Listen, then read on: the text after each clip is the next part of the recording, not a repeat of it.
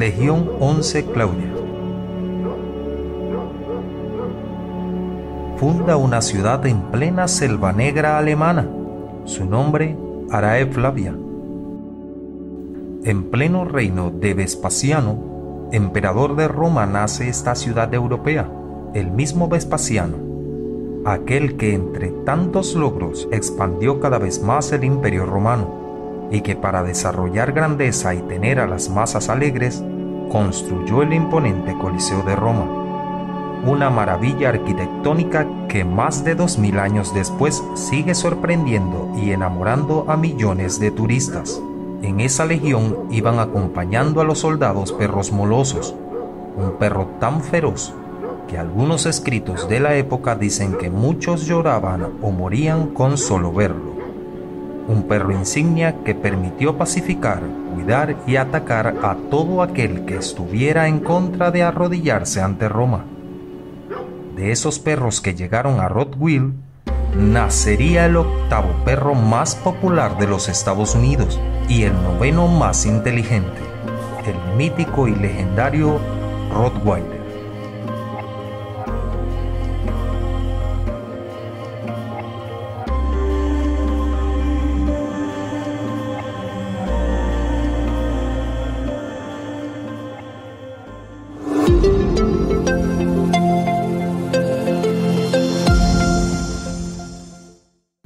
Arae Flavia, la actual Rottweil, fundada para convertirse en un lugar que alojaría zonas militares y a las tropas auxiliares en la búsqueda de seguir expandiendo el imperio, además de los soldados carniceros y cocineros, trabajaban para las órdenes del emperador.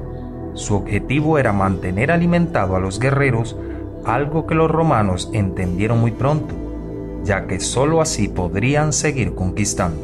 Con ellos iban perros de todo tipo, los de compañía parecidos al maltés de la actualidad, el galgo, que era utilizado para la caza, el moloso, un perro de guardia que con solo verlo aterraba a los presentes y que también servía para conducir el ganado. En ese entonces el perro gozaba de mucha estima ya que el mismo Alejandro Magno eligió de entre 150 perros a uno llamado Peritas, un perro tan valiente que murió defendiendo a Alejandro salvándolo de ser traspasado por una jabalina. El moloso romano era un perro muy pesado, con músculos muy fuertes, un ladrido tenebroso, una actitud de perro guardián y nada cariñoso con los extraños además de sus orígenes, guardaba aún la esencia de los perros pastores de Irán, lugar de donde eran sus ascendientes. Este perro se transformó en lo que era en la antigua Grecia, en la región de Molosa. De ahí es donde viene su nombre. El poeta romano Virgilio dijo de ellos, Nunca con estos perros en guardia usted necesitará temer por sus barracas de un ladrón de la medianoche o ataque de lobos, o bandoleros ibéricos en su espalda.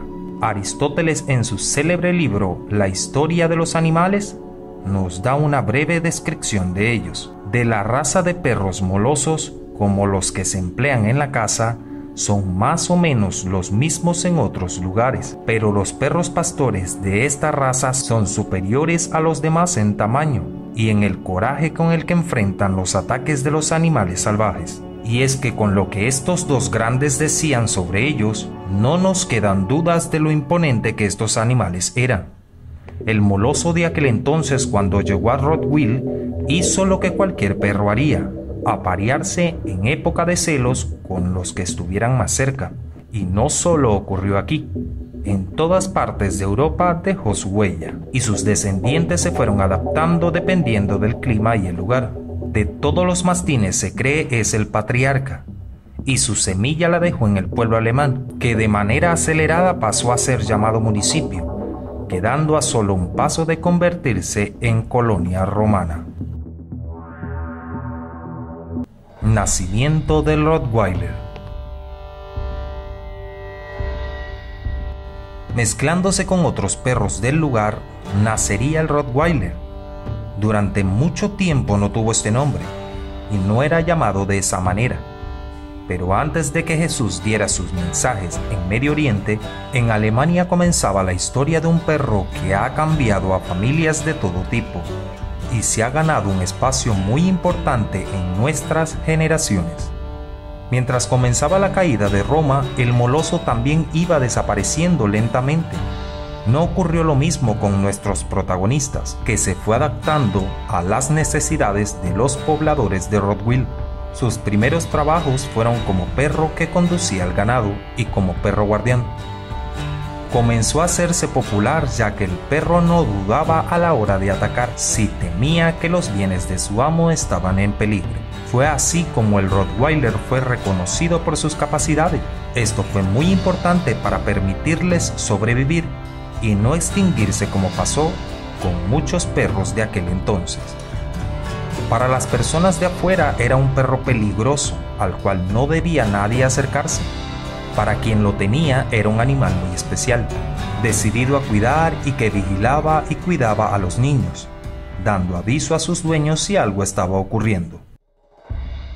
El pueblo de Rottweil se fue convirtiendo poco a poco en una ciudad estaba ubicado en una zona muy estratégica y el comercio floreció. Era parada obligatoria y comenzó a ser famoso por sus carniceros. Llegaban al sitio personas de distintas partes a comerciar, a vender y a comprar. Y es de aquí donde se fortalece el carácter del perro.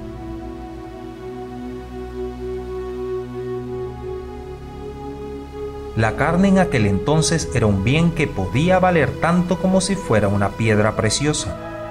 Pocas personas tenían la oportunidad de comerla y solo en eventos especiales algunos podían consumirla, específicamente las personas que eran de la clase baja. Era entendible que los carniceros necesitaban cuidar este bien, pero además encontrar la manera en que buscarla y venderla no fuera tan tedioso. Y es que llevar una res de carne en la espalda no es uno de los trabajos más sencillos. Aquí el Rottweil vuelve a tomar protagonismo, y es de donde nace su nombre, perro carnicero de Rottweil. Este nombre se le dio porque eran perros agresivos que se comían cualquier cosa que veían en el camino.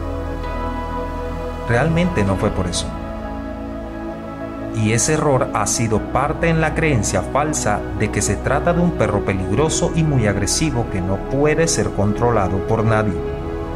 Su nombre era perro de los carniceros de Rottweil, a que gracias a sus músculos podían llevar peso y arrastrar las carretas de carne. Pero no solo eso, les tocaba defender este preciado alimento tanto de las fieras salvajes de otros animales domésticos y de personas que querían comer un poco o robarla para ganarse algunas monedas. El perro se convirtió en un gran aliado para el carnicero y ambos hicieron un equipo durante varios siglos. Las investigaciones estiman que ya para el año 1800 el Rottweiler moderno que conocemos ya había nacido. Compacto, fuerte, guardián, activo y rápido para atacar si era necesario. Rottweil tenía un perro hecho a sus necesidades, excelente para arear y cuidar al ganado, y bueno para llevar peso y perfecto para defender. La llegada del ferrocarril hizo más fácil la vida para muchos, y también para los carniceros que ya no veían necesario utilizar al perro para arrastrar la carne. El invento hizo que fuera disminuyendo su popularidad y la raza sobrevive en parte a algunos ejemplares que siguieron sirviendo como perros de guardia y proteger el ganado. Fue un duro golpe para estos perros que habían sobrevivido casi 2.000 años.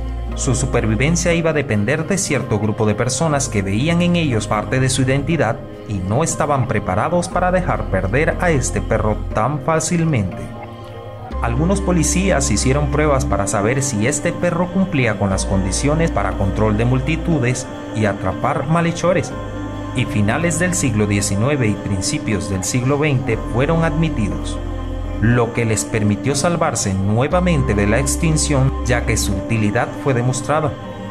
Sorprendió a muchos, que era un perro muy fácil de entrenar y las órdenes complejas no parecían para ellos un problema los alemanes y especial los pobladores del pueblo de Rottweil supieron casi 100 años antes de que Stanley Koren hiciera su listado de perros inteligentes que el Rottweiler era uno de ellos. La próxima semana estaremos conociendo la segunda parte de esta entrega, donde conoceremos cómo fue su trabajo en la Primera Guerra Mundial, la lucha para lograr un estándar definido, el aumento de su popularidad y el golpe que sufrió cuando se empezó a crear una leyenda negra en torno a ellos.